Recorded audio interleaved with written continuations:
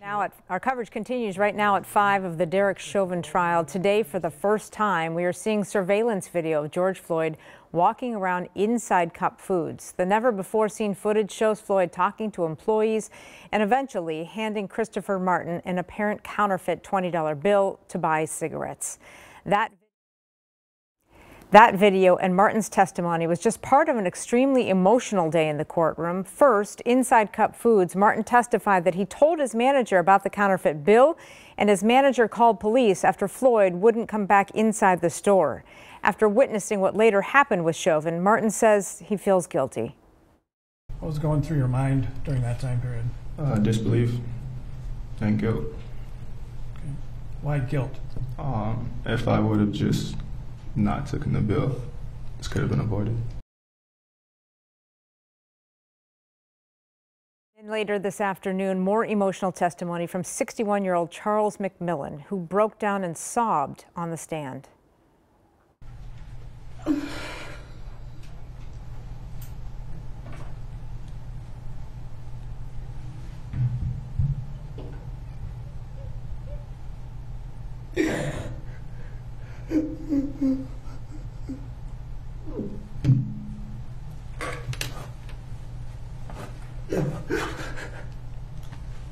My. Just take your time. Let us know when you're ready. We'll just give you a moment, Mr. McDonald. I'm not sure if there's water for you as well. This is just so hard to watch and so heartbreaking. Danny, what led up to that moment? Well, Rena McMillan was really being forced to relive that day of May 25th all over again this afternoon. That was when he just happened to be driving by. He lives in the area of 38th in Chicago, was curious, pulled over, and then saw most of the encounter between Floyd and the officers. So today he actually was seeing some of the body camera footage and that's when you started to see him break down. But he was a crucial witness because it allowed the state to introduce that body camera footage for the first time to the jury. And then of course we saw much more later in the afternoon.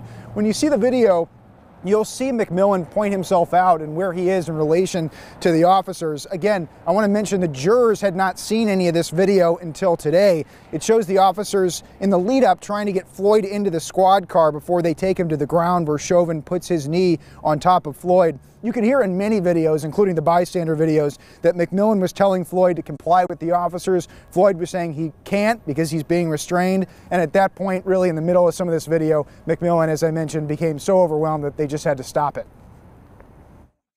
Can you just explain sort of what you're feeling in this moment?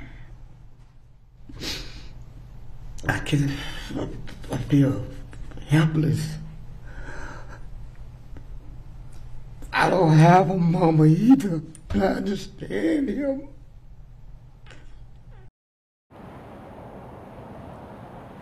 Now, when the court took a 10 minute break, they came back, and then something very significant happened with McMillan on the stand. The prosecution introduced new body camera video that was never released publicly until today, showing an interaction between McMillan and Chauvin in the aftermath, after Floyd had already been taken away by the ambulance. Listen to that. Going to control this guy because he's a uh, sizable guy. Yeah, and I tried, I It looks tried like, to get in the it car. looks like he's probably on something.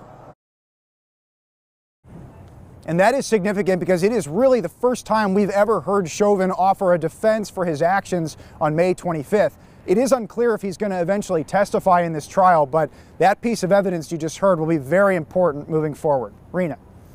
Danny, uh, later in the day, they played a lot of that body camera video back to back to back. Uh, you know, here we were able to turn off the video or turn off the sound, but those in the courtroom weren't able to do that. What kind of reaction were you seeing from people?